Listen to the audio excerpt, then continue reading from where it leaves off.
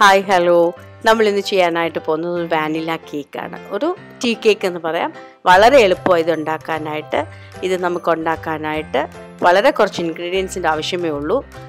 നമുക്ക് നോക്കാൻ എന്തൊക്കെയാണ് വേണ്ടത്. മൈദ വേണം പഞ്ചസാര വേണം ബേക്കിംഗ് പൗഡർ വേണം സോൾട്ട് വേണം രണ്ട് മുട്ട വെജിറ്റബിൾ ഓയിൽ പാൽ.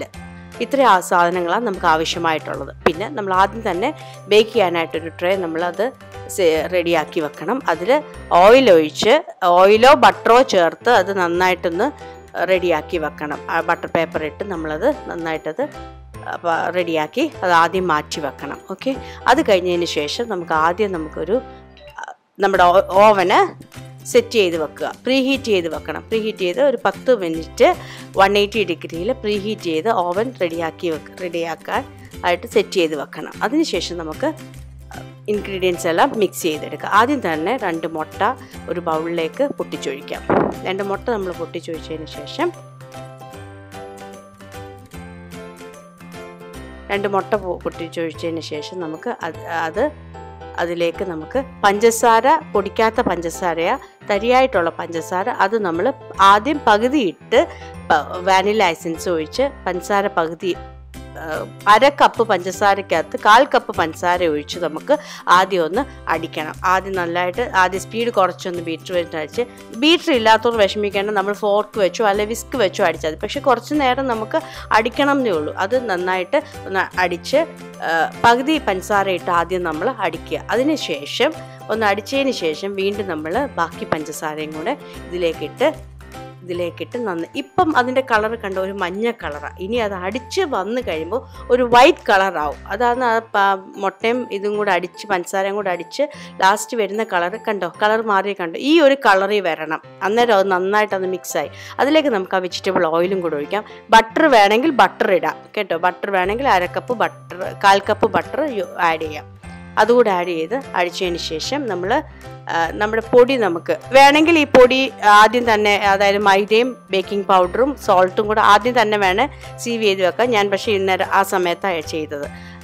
അത് നന്നായിട്ടൊന്ന് ഇടയണം അതായത് മൈദ ഒരു കപ്പ് ബേക്കിംഗ് പൗഡർ ഒരു ടീസ്പൂണ് സോൾട്ട് ഒരു പിഞ്ച് മതി. ഒരു ഇച്ചിരി ബാലൻസ് ചെയ്യാനായിട്ട് ഒരു സോ ഒരു പിഞ്ച് സോൾട്ടും ഇത് നന്നായിട്ടൊന്ന് ഇടഞ്ഞെടുക്കണം ഒരു പ്രാവശ്യം ഒന്ന് ഇടഞ്ഞിട്ട് പിന്നെ ആ ഫോർക്ക് ഇട്ട് നന്നായിട്ടൊന്ന് മിക്സ് ചെയ്ത് കൊടുത്താലും മതി.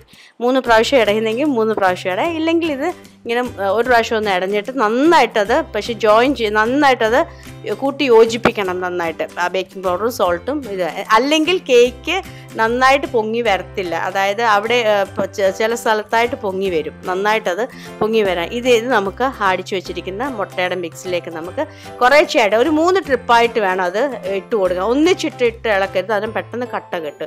അതിലേക്ക് നമുക്ക് പാൽ ഒരു കാൽ കപ്പ് പാൽ എടു മതി അതിന്റെ ആവശ്യമേ വരുന്നുള്ളൂ. കാൽ കപ്പ്. കുറേ ഒഴിച്ചു നോക്കുക. ഒത്തിരി ലൂസായി പോകരുത് ബാറ്റർ. എന്നാൽ ഈ ഒരു പരുവം ഈ ഒരു പരുവത്തിൽ. എന്നിട്ട് നമുക്ക് ബേക്കിംഗ് ട്രേയിലേക്ക് ഒഴിച്ചു കൊടുക്കാം. നമ്മുടെ ഓവൻ പ്രീ ഹീറ്റ് ചെയ്ത് നമ്മൾ വെച്ചിരിക്കുക.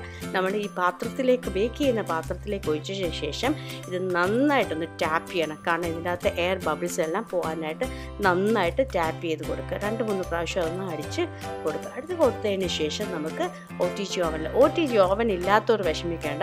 നമ്മുടെ സാധാരണ നോൺ സ്റ്റിക്കിന്റെ വലിയൊരു പാത്രം എടുക്കുക.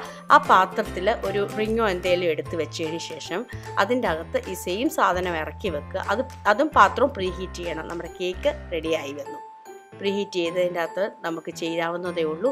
അത് എല്ലാവരും അത് ട്രൈ ചെയ്ത് നോക്കണം. വളരെ ഈസിയാണ് ആ പാത്രത്തിൽ അടുപ്പിൽ വെക്കുന്നതാണെങ്കിലും ആ പാത്രത്തിന്റെ അകത്ത് ആദ്യം ഒന്ന് ചൂടാക്കി ഉണ്ടാക്കുക. ചൂടാക്കിയതിന് ശേഷം പത്ത് മിനിറ്റ് ചൂടാക്കിയതിന് ശേഷം ഇതുപോലെ തന്നെ ഇറക്കി വെച്ച് ഒരു മുപ്പത് മിനിറ്റ് മുപ്പത് മിനിറ്റ് ആയി കേക്കിന്റെ ബേക്കിംഗ് ടൈം മുപ്പത് മിനിറ്റ് കഴിയുമ്പോൾ നല്ല അടിപൊളി സോഫ്റ്റ് ടീ കേക്ക് നല്ല സ്പോഞ്ച് കേക്ക് എല്ലാവരും ട്രൈ ചെയ്ത് നോക്കുക.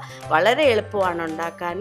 ഇപ്പോൾ എല്ലാവർക്കും ടൈമൊക്കെ ഉണ്ട്. പിള്ള കുട്ടികളൊക്കെ വീട്ടിലിരിക്കുമ്പോൾ അവർക്കൊക്കെ ഇടയ്ക്ക് എന്തെങ്കിലും വേണമെന്നൊക്കെ പറയുമ്പോൾ നിങ്ങൾക്ക് ഉണ്ടാക്കി കൊടുക്കാവുന്നേ ഉള്ളൂ അന്നേരം താങ്ക് യു ഫോർ വാച്ചിങ് എല്ലാവരും ട്രൈ ചെയ്ത് നോക്കുക. പ്ലീസ് സബ്സ്ക്രൈബ് ലൈക്ക് ഷെയർ കമൻസും അയക്കാം thank you thank you for watching